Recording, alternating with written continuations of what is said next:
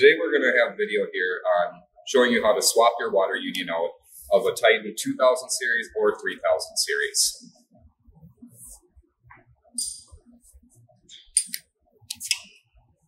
So on your water feed, you want to start on this side.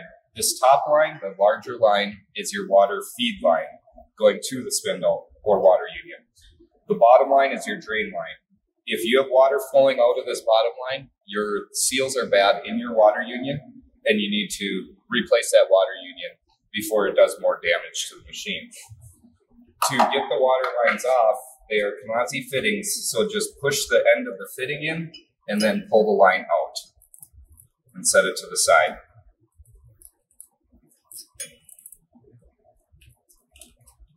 Now you want to take your two water fittings off. They do have Allen wrench holes in the inside, or you can use a deep well socket on the outside.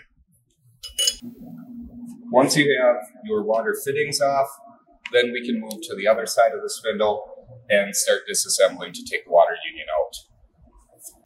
Once you're on the other side, we want to remove the anti-rotation bracket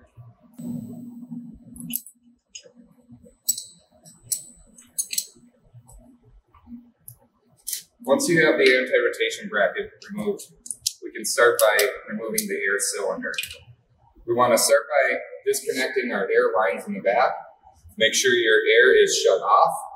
And same Camozzi fittings, just push in the end of the fitting and then pull the line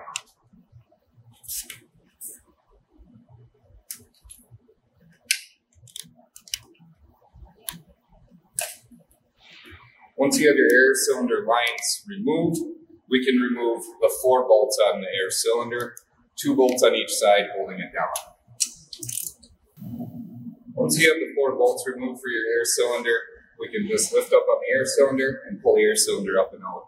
Make sure you watch out for your spindle motor cables. And we can just set that to the side.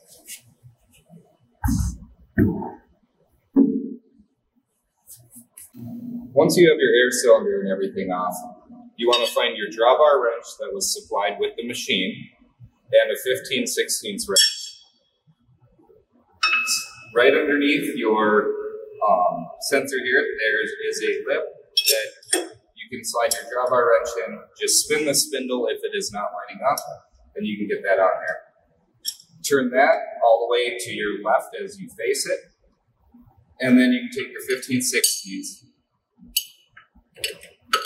on your water union, and it is reverse threads. So you want to turn to your left or right to loosen it up. Once you get that broke loose, you should be able to just hold your spindle straight and turn your water union. Out.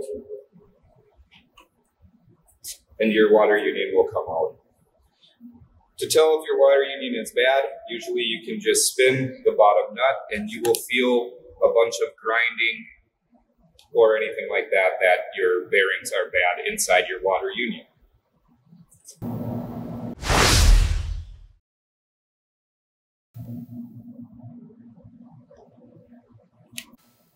When, re, when putting in your water union, make sure you apply anti-seize to the threads of the water union. thread our water union in, keeping in mind it is reverse threads. So you are turning left hand to tighten the water union onto the drawbar. Okay, once you have your water union snug down by hand, um, looks like your gap is starting to fill up there. You may see a little gap yet. Then you want to torque that down. So we're going to take our spindle wrench Put our spindle wrench on our drawbar. And then I'm going to utilize the machine and just kind of hold that tight to there. And then we're going to torque down our, um, our water union here. So I'm going to use a torque wrench with a crow's foot on it.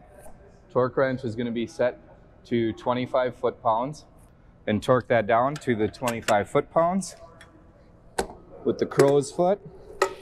And it will be a 15 16 crow's foot you'll need for that. Take our wrenches back out.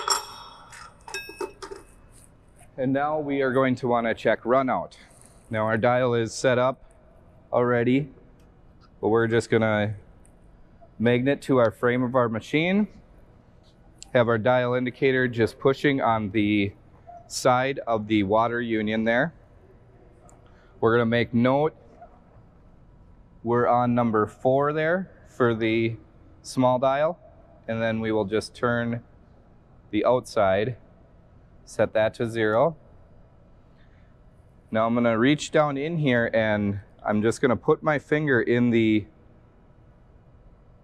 in the water inlet hole of the water union. And I'm gonna reach down to the bottom of the spindle and I'm gonna spin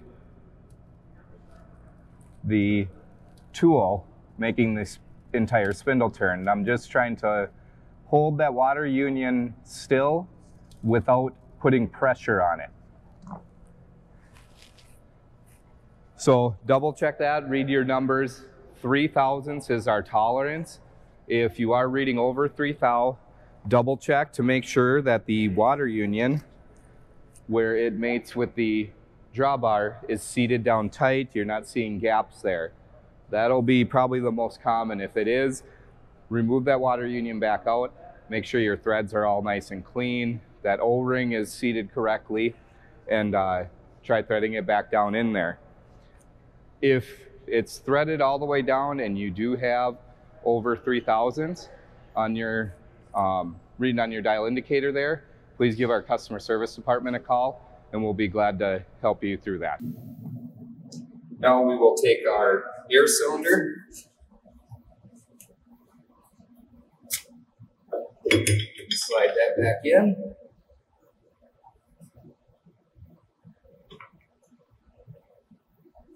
and put our four bolts back in for the air cylinder.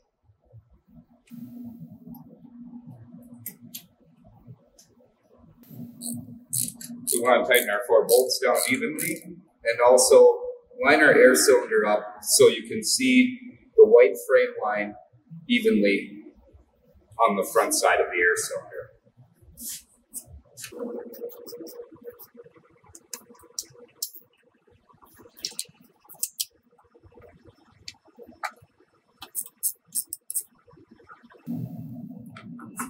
Once you have the four bolts in for the air cylinder, we can install our anti-rotation bracket.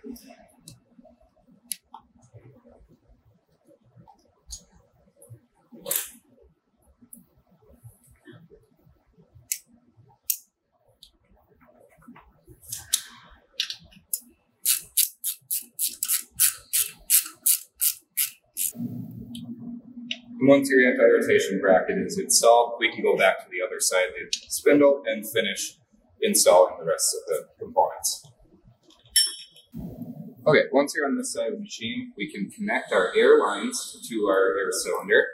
Just push the air lines in, you'll feel them bottom out.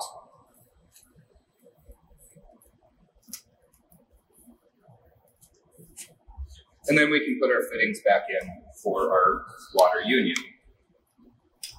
Remember the smaller fitting goes on the bottom, larger on the top. Make sure your fittings are nice and snug so they do not leak. Then we can connect our lines. The bottom drain line, the smaller line. If you do have a VEM greasable water union, you will not have the bottom drain line. Um, it will just have ports going around it. Also, if you guys do remove the drawbar sensor, um, you do not need to remove it, but if you do remove it, then make sure that you put it in properly. Um, the wire goes on the top with the green light towards the bottom. And make sure that it's seated, it's seated nice and flat on the frame. And the, if you remove the black block, that the black block has a lip that will seat tight to the edge of the frame there. Then we can just reinstall our cover and we can start running production again. Thank you.